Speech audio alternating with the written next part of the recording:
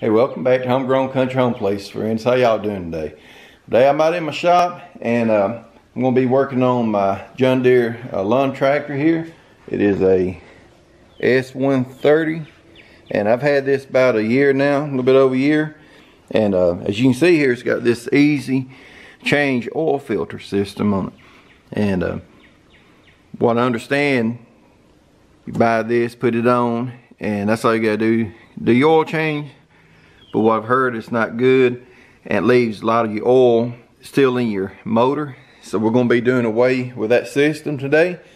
And we're going to be uh, installing a, uh, a, drain tube on it and also a uh, nipple put install a nipple to uh, install our new oil filter and uh, I'll leave uh, the uh, numbers in the uh, description below for all these parts that's your oil filter right there. And uh, you probably gonna have some I know different oil filters you know you don't have to get this particular one but that's the oil filter right there. And uh, the nipple itself is right here. And um, I don't know if you can see that part number right there. It's a MIU 13767 and here's the uh, drain uh, tube nipple. We're going to be installing. It is a 1AM 131611 and I'll leave all these numbers below. And uh, it's been uh, last year I knew I was going to be buying this kit and I can't really tell you if I ordered off Amazon but the the box had this card in it and this is actually uh, the people I, am assuming who shipped it to me and uh, that might help you out right there. Uh, see on the back here. Uh, yeah just uh, but you probably get this kit you know a lot of different places. And they got different kits also y'all. This is just a particular one I purchased because I, I like this design better than some of the other ones especially on this uh, nipple right here. And when you see me install it you'll see what I'm talking about. It's got a five sides on the uh, nipple itself. When you install it right there. Uh, so it's going to be easy to install. Some of them's completely round on the inside of it but uh, this to be make it a lot easier to install it. But uh, let me go ahead and get started and I'll show you how quick and easy it is. The first thing we're going to do is take this cover off. It's going to have a 5 16ths or 8 millimeter bolt we're going to be taking out. Take this cover off. You can you got cover on both sides we're going to be taking off. So here's this uh, bolt right there. This cover just comes undone. So next we're going to be ready to take our uh, oil filter off. Looks like it got a zip tie on it. So we're going to take some uh, side cutter pliers we're just going to cut that loose.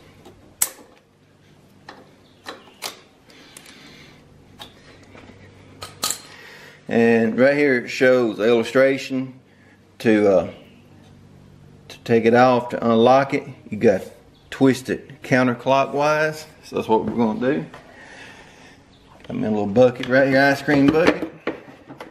Oil come out. Okay, let me get the pliers, take that off because it's too tight. Take it off with my hands there.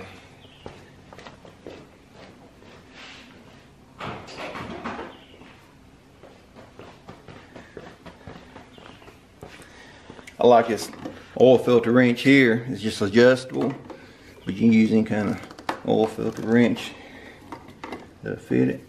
So just break it loose there. Turn it.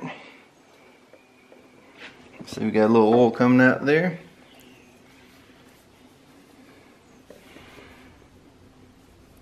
So that's what it looks like y'all. If y'all never seen one, that's the first time I ever seen uh, this design set up like this. Y'all uh, ready to take this uh, bolt out here to take this uh, oil filter housing off. And what I'm going to be using is a 28 millimeter.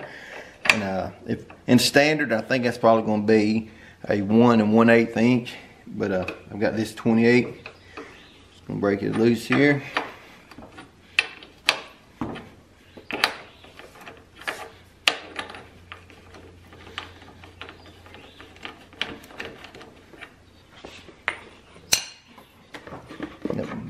Under it there.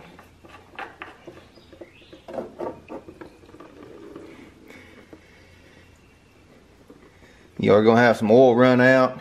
Uh, just uh, have cleaned it up. But uh, what I did, I jacked this uh, lawnmower up on one side over here on this left side, let all this oil, most of it go back toward the other side. So when I take that plug out on the other side, get a drain. So uh, just want to let y'all know that might help you out there, get a lot of oil out. Here's my oil filter nipple. You can see right here it's got um, it's like a hex. It's got five uh, sides on it right there. And uh, what I'm going to be installing this with is a uh, T60 Torx bit. It fits in there real nicely there, snug.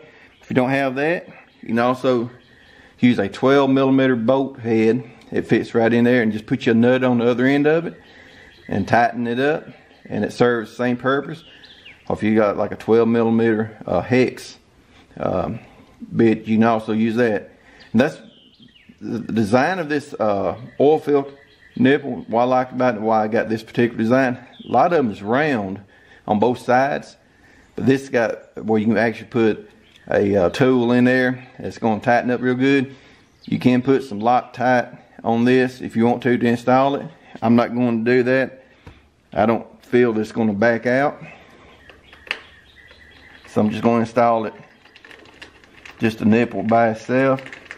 No kind of thread seal or anything on it. And I'm just going to tighten it down, snug it down. It is aluminum type block here, so you don't want to overdo it.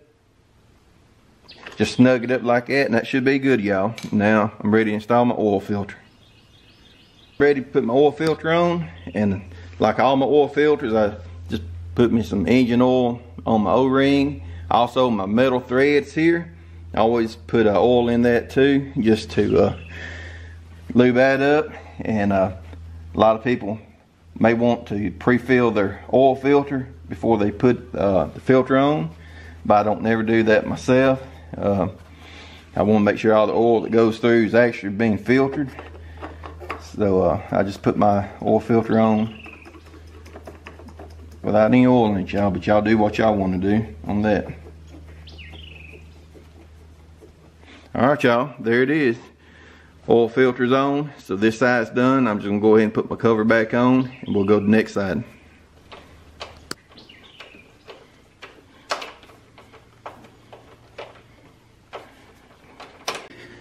Alright y'all, I'm fixing to get ready to take this uh, drain plug out here on your right side. But first, this wiring harness I've taken loose from the clips right here. And I'm just gonna undo it from the connector move that out of my way so that won't get all oily because you're gonna get a lot of oil spilling everywhere. You're gonna clean it up. But once you uh, take that out put that uh, drain nipple in we're not gonna have to worry about that. And what I'm using is a uh, one half inch 12 point socket I'm just gonna just uh, tap it up there on it and I break it loose here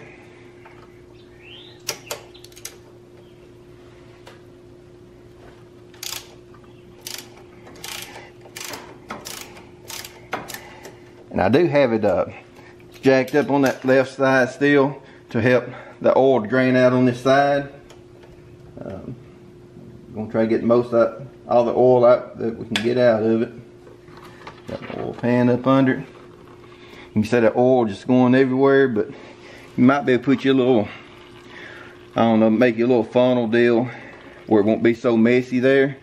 But uh, I'm just gonna catch it here in my bucket and um, I'm thinking uh, should should be I want to say they said about two quarts somewhere like it. it might be a little bit over two quarts to refill it but I'm not 100% sure but I'll let you know when I get finished how much oil I actually had put back in it.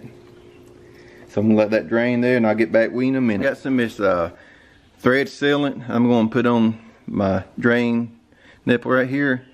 This is a gas oil uh, just uh, works good if you're using any kind of um, needing use on oil or any kind of sell anything that got to do with fuel, anything like that. So I'm gonna just put some sealant on it and uh, install this drain.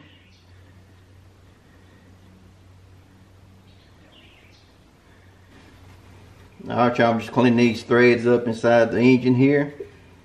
Getting ready to install this drain plug.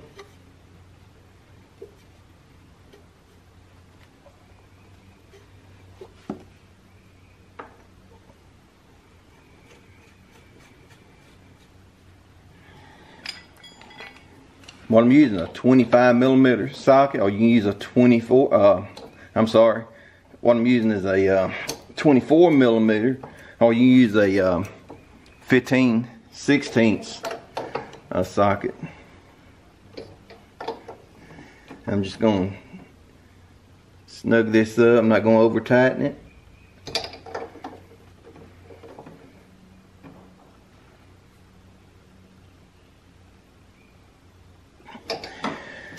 all right y'all that's it. And uh, it's got an o-ring around it and it comes with this little black cap that you just uh, install and it locks into place. And that's it y'all. Uh, when I get ready to do my oil change now? All I gotta do is just take this off drain my oil take my filter off and I'll be good to go. And uh, so now I'm just gonna go ahead install my wiring harness back for my headlights and hook it back up and uh, go ahead and get my oil in it. I'll let y'all know how much oil it takes to refill it.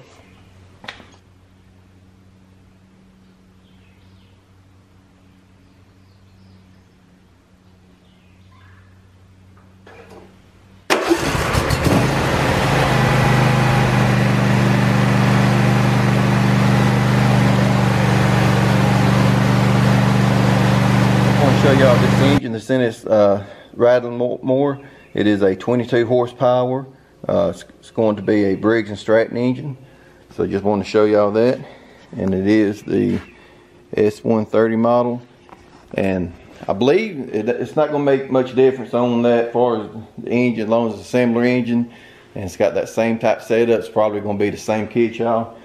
But I uh, just want to show y'all maybe replacing that. Uh, maybe help you out if you got that uh, oil filter set up on yours and you want to change it to just one that you drain yourself make sure you get all your engine oil out. Uh, this is how you do it there. Uh, it's quick and it's easy. It's a little messy there. I could probably done a little better job as far as putting uh, some funnels or something up under or catching the oil, but uh, uh, just uh, just remember to put your right engine oil in it. It does take a 10 W30 engine oil and it took a little bit over two quarts probably like maybe two and a quarter quarts of oil to completely fill it up. So uh, I appreciate y'all coming along today. Hope you enjoyed the video. And as always friends from my family to yours y'all have a blessed day. We'll see you later. Bye bye